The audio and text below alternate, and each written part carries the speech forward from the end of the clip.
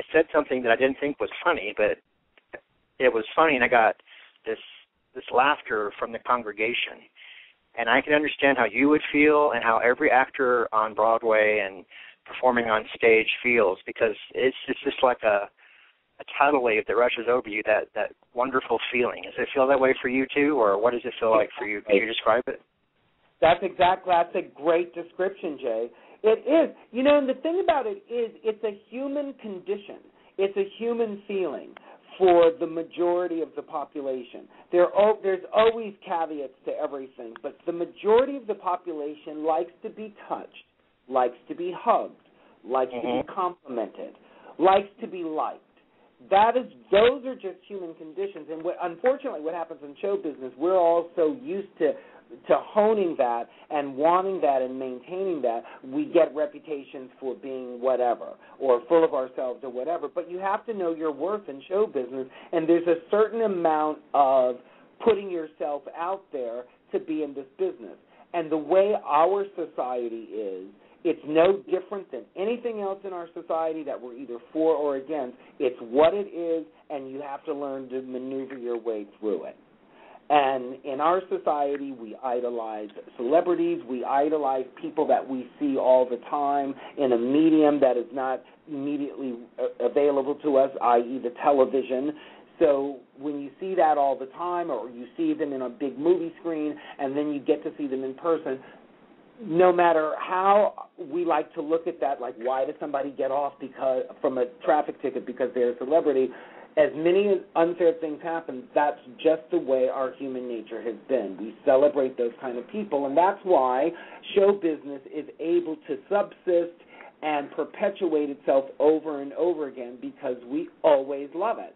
Sure, the people right. fall out of favor soon, but there's always somebody new to be in the highlight and to find out, okay, what are they doing and what happened to them and why, and you know that's one of that's one of the allures of show business.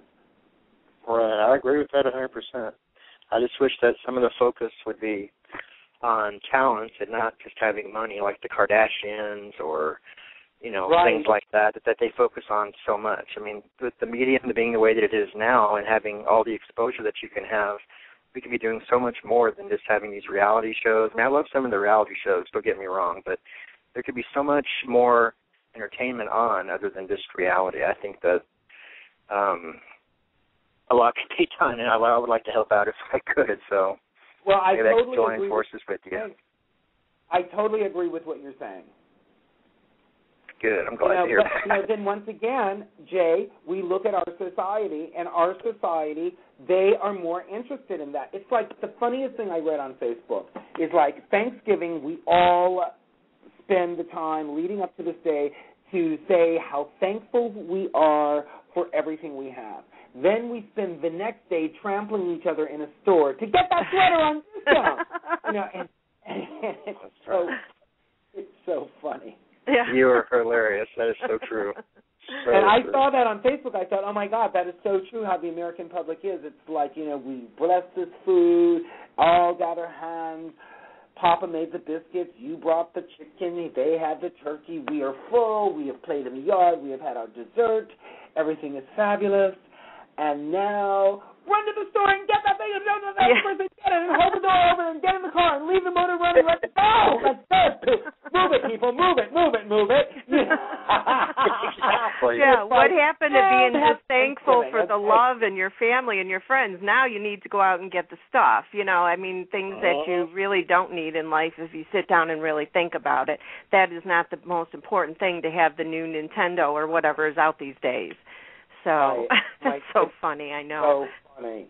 It is just so funny what like you know our priorities are and and Mhm. the way life has changed because you know there are people like you you meet that are not online they're not part of social media and they live their lives fine too so it can be done but of course in the work that I'm in I just couldn't fathom that I mean I just Right. could Right. not fathom being like I'm about to do a movie now and if I wasn't online, not to be able to get the script sent to me and everything, and and just like all our follow up for this radio interview, can you imagine? Mhm.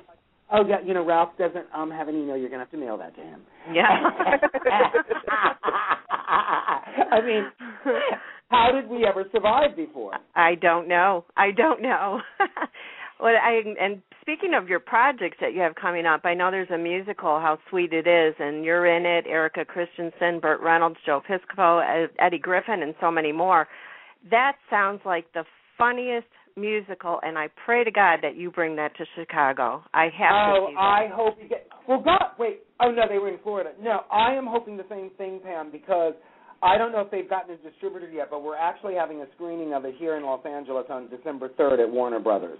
And I'm very excited to see it because it was so much fun to make. And the funny thing is, when I auditioned for it, I didn't even know it was a musical. I didn't know it was a musical until I was in the movie. And they because I didn't have to sing or any or dance at the audition. But it, what a bonus it became because I come from musical comedy. Hello.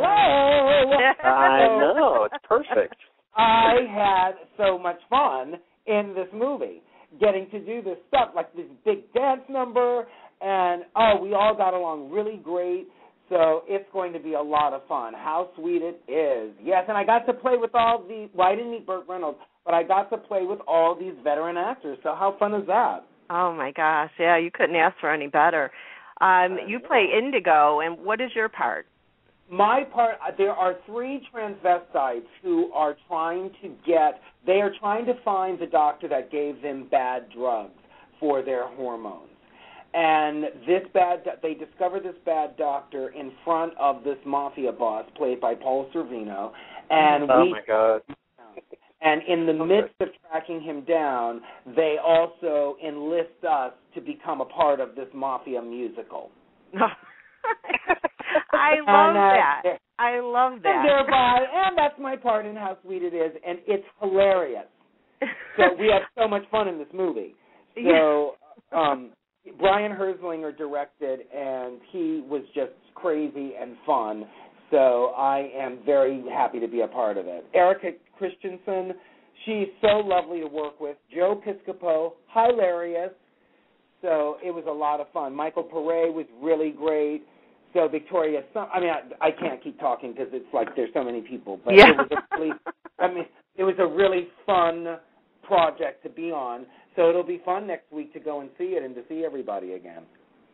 Well, oh, I think it. you need I'm to send a plane for me and pick up Jay on the way, and and we'll we'll go with you because oh, I God, have to see this. So great, yeah, it'll be great when they. The movie is like I've only seen the trailer, so I my first time will be seeing it next week too. But I hope it'll get distributorship so everybody can see it because it's hilarious. And why not hilarious. do a musical? of course. They've done everything musical wise it seems like, so that would be the per- the next the next exactly. thing that would work. Exactly. So, you know, I mean how many mafia musicals can you think of off the top of your head? Uh none. None. yeah. So now we have this one. We have these great people in the film. They're all these crazy characters. It's a really colorful film, and uh, yeah, so it's going to be fun to like to to ride the popularity of this film. Well, for our listeners, I'm just going to read the little bit that's here on IMDb to give you an idea. An alcoholic theater owner needs to put together a successful musical in order to pay off his mob debt.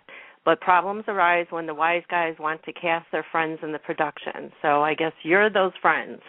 Exactly. those would be, I would be one of those friends. So I love my placement in these films, you guys. It's because I get to always do something fun. And you know, whether I'm in a prison movie, which is K11, or doing How Sweet It Is, which is a mafia musical, or All About Christmas Eve, where I'm in drag in that movie playing best friends to Haylie Duff, I always get a fun, colorful role, and I love being a character actor in Hollywood. Is the um all about Christmas Eve. I was reading about that too. Patrick Muldoon, Haylie Duff, Connie Sellecca, Diana DeGarmo, Ace Young, and so many more. It's a romantic movie where you play a drag queen. And I have to say that I saw you as a transsexual on Cold Case, and you make a very pretty woman. oh, Pam, thank you. How long I does it take you to get too. made up? well, when I do it for TV shows, they do it for me. So I'm Mhm. in, in hair and makeup for less than an hour. When I audition, it takes me about 45 minutes to get myself done up the way I want to present myself, and then to get to the audition.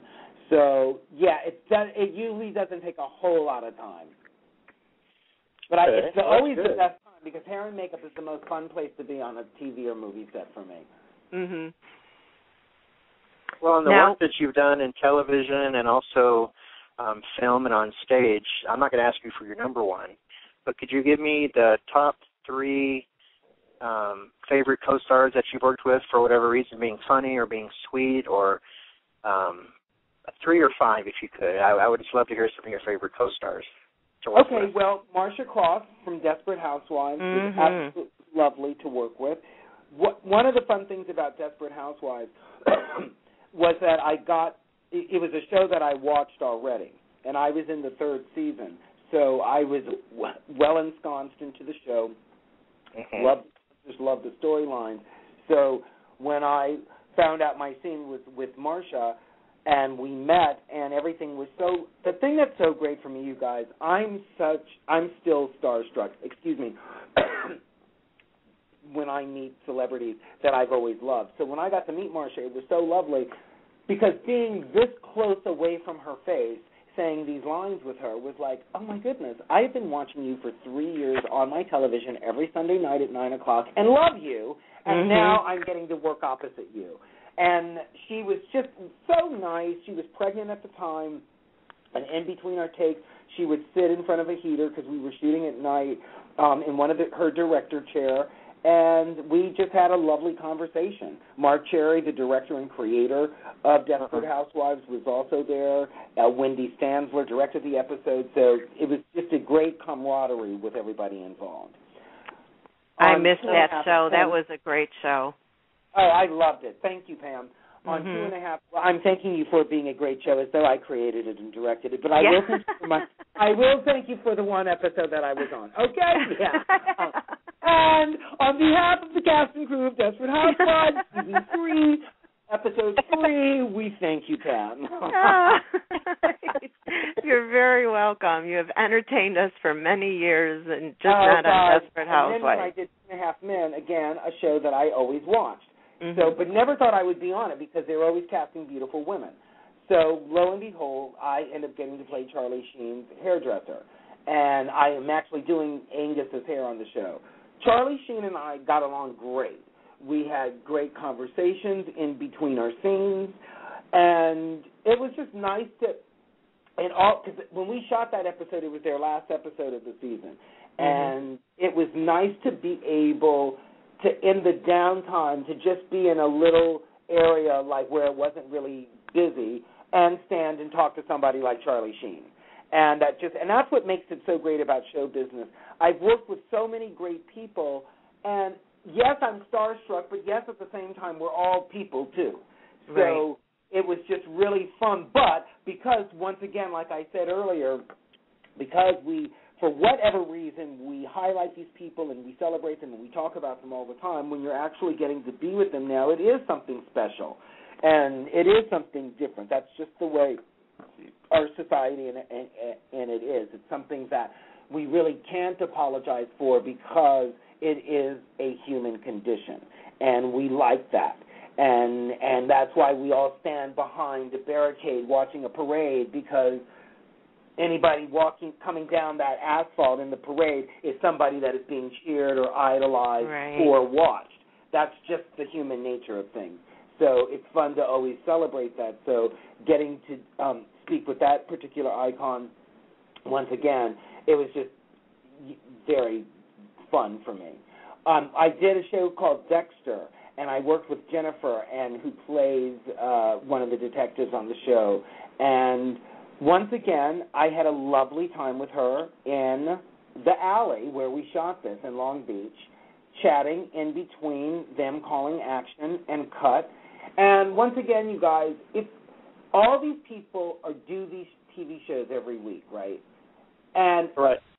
they you, they deal with a lot of different people, but everybody has always made me feel so welcome and so wonderful and so part of everything for the time that I am there. And Jennifer Mhm. Carpenter was no differently. I didn't work with Michael in that one, but um, Jennifer was no differently than that. And I just like to give credit to that because it's not apparently always that way from stories I've heard, but I have been very fortunate to just